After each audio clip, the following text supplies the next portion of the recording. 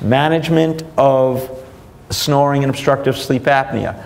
Non-surgically, avoid the risk factors, weight, sleeping position. Pharmacological agents to dry up the airway, otherwise just to deepen the sleep cycle, not effective and actually damaging. Positive airway pressure in many forms, we'll review that, and oral appliance therapy to move the tongue forward, place tension on the lateral walls of the oropharynx, and uh, increase the airway. Surgically, tracheostomy was the historical way of opening up someone's airway, not something most people like to do.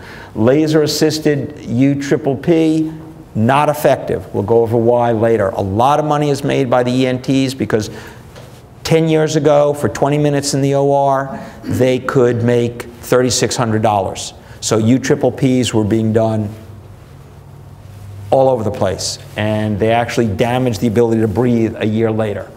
Um, maxillary and mandibular advancement, effective when other things and when other treatments have failed. i would like to complete the Auryon CPAP, take a couple of minutes, and uh, then take, take our break. CPAP, continuous positive airway pressure.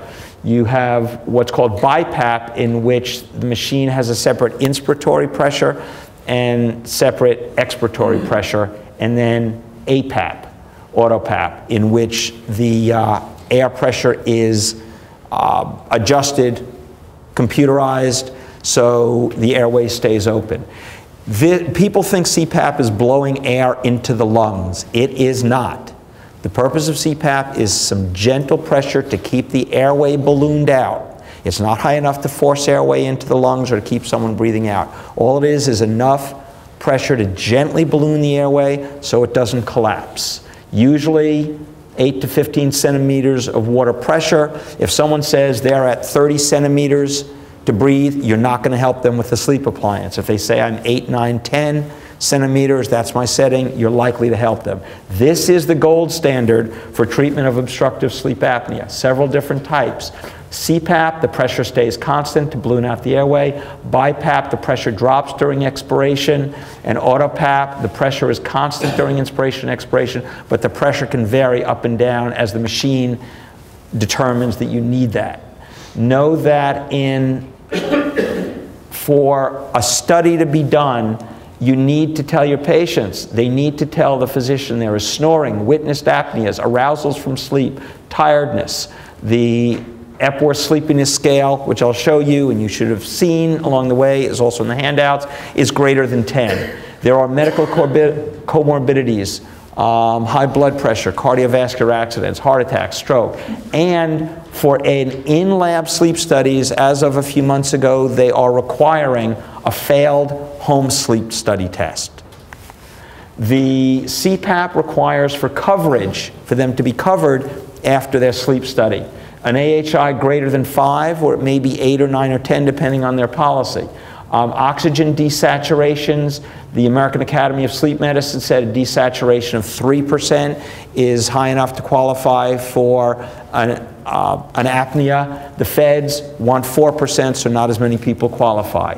They need to keep using the CPAP 70% of nights, four hours um, per night, or the cost of their keeping their CPAP will not be covered.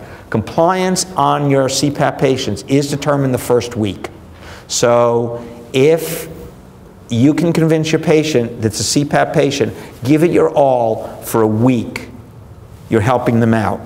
And understand that there are hundreds of masks, hundreds of different options for interfacing with that CPAP. And the more you can get your patients to use the CPAP, the better it is for them, and we're here to serve our patients. Only when they failed CPAP, can't wear it, won't wear it, do we step in and say, let's do a sleep appliance. Um, CPAP tolerance, adherence, effectiveness. Increase with improved nasal airflow. You may be the person that says um, you need to be on a nasal decongestant three nights, see if it works, and um, some other things we can do to help you with your CPAP. Question? Yeah, where does the Fed get their 4% level? That, how do they justify that when the American Academy of Sleep Medicine says 3%? Is there some study? Does not have to justify. The same way, the same way Fed decided the only appliances we're going to use that we will accept and pay for are Herbst design appliances. There's no logic to it. Okay. Someone in the Fed decided it, and we don't have a choice. Treatment of nasal resistance. Be willing to use nasal strips. I'll go over which ones I think are the best. The nasal steroids, Flonase, Nasacort, now available over the counter, should be used every night for someone that has um, nasal resistance. Surgery of many types, turbinates, deviated septum to let people breathe through the nose will increase, this will increase acceptance of CPAP and of your oral appliance. And right now, you're going to find that the APAP is going to take a greater usage in sleep medicine because they're not going to, they're going to start not following up with sleep studies. They're going to put someone on APAP, they're going to take the computerized readings as how that's been working, and that's going to end up being the follow-up sleep study. So be aware of that. We make our living doing oral appliances but our goal should be to best serve our patients, and our allegiance should be to the welfare of our patients, not our profit. When we're discussing CPAP versus oral appliance, a CPAP machine in one of the three forms, CPAP, BiPAP, APAP, is known for much greater effectiveness at treating sleep apnea. CPAP is the gold standard of sleep apnea treatment. But there's a lower compliance to its use because people don't like being tethered. Oral appliances are usable for the mild to moderate sleep apnea. They are less effective than CPAP. And we do have greater compliance with the appliances. So CPAP, gold standard, most effective, less compliance, oral appliances, not as effective, is effective for a lower range of sleep apnea, but much greater compliance. People can travel with sleep appliances, easier to use. And we do have situations where it takes a combination of CPAP and an oral appliance to be effective. I mentioned, and this is from Dr. Friedman, that what's going to happen these days, and you need to be aware of it because you'll be affected by it, is that the patient will have some sort of sleep study. They'll be given the options for um, weight loss, some sort of CPAP, oral appliance, surgery. Will often go into an APAP usage. The APAP machine will record how they're breathing and then they'll be reevaluated. So you won't see separate sleep studies. That will happen in the next few years. Just be aware and roll with it so you can tell your physicians, yeah, knew that was happening.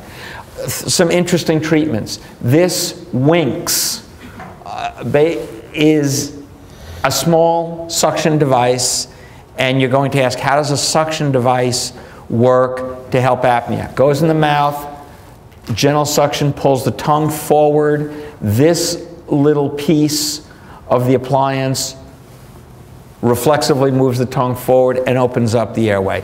About 40% of patients will get some benefit from this.